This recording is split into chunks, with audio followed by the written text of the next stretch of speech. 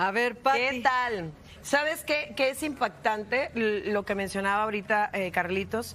Es increíble que ella hable con tanta seguridad cuando al menos yo puedo decirle que la parte que yo ya acepté, porque es una verdad a medias, que hay inconsistencias, pero que no cambia el resultado, ya está fuera. Pero a mí me menciona en tres historias distintas. Y de las otras dos, no tiene absolutamente ninguna prueba porque es falso de lo que a mí me acusa. Es increíble la seguridad con que ella habla, desprestigia, señala y no enseña ninguna prueba y su libro se basa en, en una historia que alguien le narró o que un testigo supone o rumores.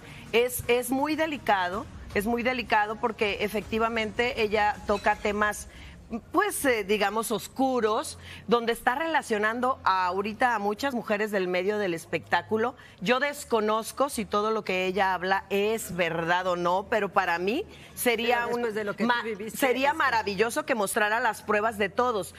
Ella dice que yo acepté la historia de este señor que ya falleció tal cual, no es verdad, no la acepté tal cual. Es una historia que yo he contado muchas veces, que no he ocultado porque a mí me llena de orgullo, porque para mí... eh, eh, Queda muy claro que cuando yo digo no es no, soy una mujer íntegra que defiendo mi dignidad contra quien sea y como sea, pero de lo otro ella no tiene pruebas. Y, y en verdad, este, para mí es bien importante eh, aclarar esto. Yo ya la, la invité a ella a hacer un, un cara a cara con sus pruebas y con, con las mías.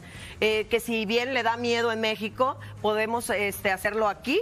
Y si no, pues eh, En tierra aunque neutral. en tierra neutral. También me informé desde el principio cómo poner una demanda, porque ahora se le une mucha gente que son sus colegas y que están acostumbrados nada más a hablar por hablar y a señalar a todo mundo.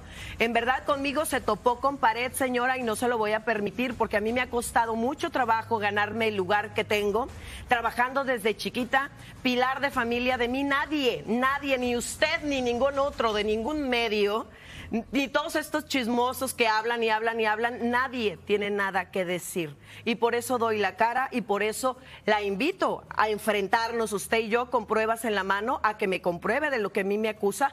¿Cuál es de lo que a mí me acusa más delicado aún? Ella dice que yo tuve una historia con un narcotraficante de nombre Tirso Martínez, compadre del Chapo Guzmán, compadre de, del Señor de los Cielos, compadre del señor Mayo Zambada, donde este señor casado este, tenía muchos pleitos con su esposa porque descubrió que él tenía una relación conmigo donde se me regalaba joyas y una supuesta residencia.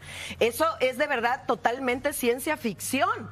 No puede tener pruebas de algo que nunca ha existido. No sé cómo se atrevió a poner eso. Yo la verdad digo, la chamaquearon, porque eso no existe.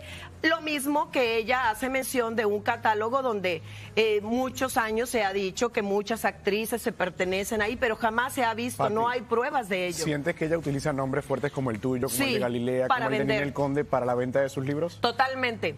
Ella, eh, seguro, ahorita es muchísima promoción, no sé cómo vaya su venta, pero definitivamente es para sacar provecho.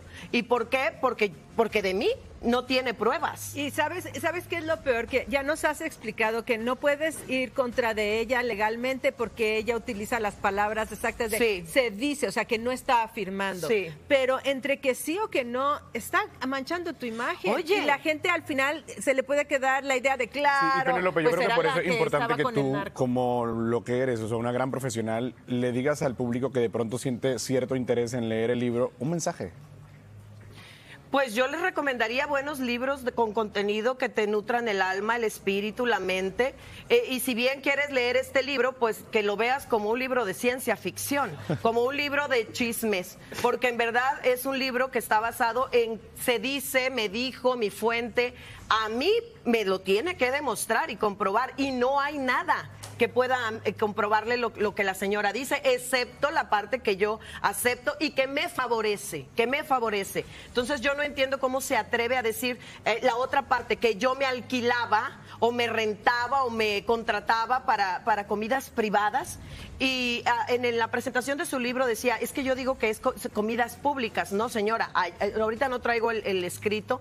Dice clarísimamente en su libro, se alquilaba o se rentaba para comidas privadas eh, de cinco horas donde cobraba 700 mil pesos. Y dice, la quisimos contratar por medio de ese catálogo, según ella. Pero como no quedaba claro si ahí había una relación sexual o no, no nos quisimos arriesgar.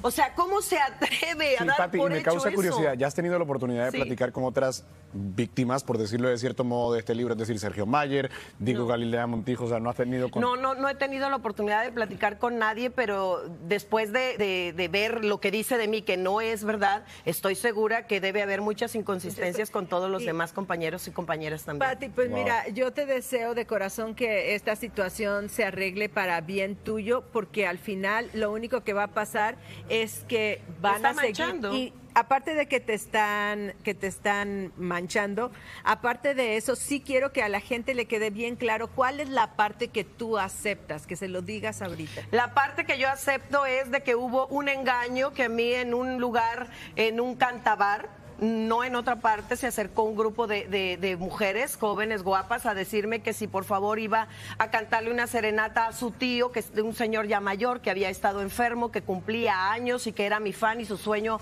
era conocerme. De toda la vida había sido su sueño.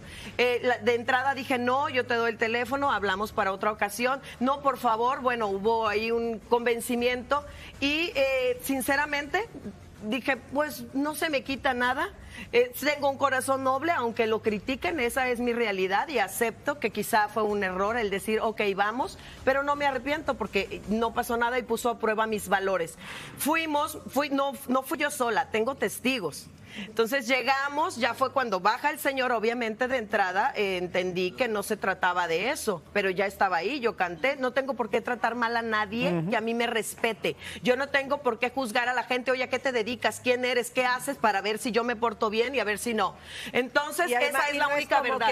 Salí de ahí, 40 veces. sí, salí de ahí intacta, no pasó nada, el señor no me faltó el respeto, no hubo intimidad, no hubo regalos, no hubo pago, no he ganado un solo peso en mi vida manchado de nada y eh, esa es la única parte que yo acepto y que sí viene a medias en el libro, pero el resultado es el mismo, intacta. Pues tu imagen no se verá manchada, Pati, tú estás muy clara en lo que realmente eh, pasó y qué bueno que nos haya aclarado y al público te- televidente, por supuesto. Bueno, y desde luego nosotros abrimos las puertas también para Anabel para que traiga las pruebas y si tiene Claro, las pruebas que las traiga y las muestre para que demuestre también que ella tiene la razón si ese es el caso.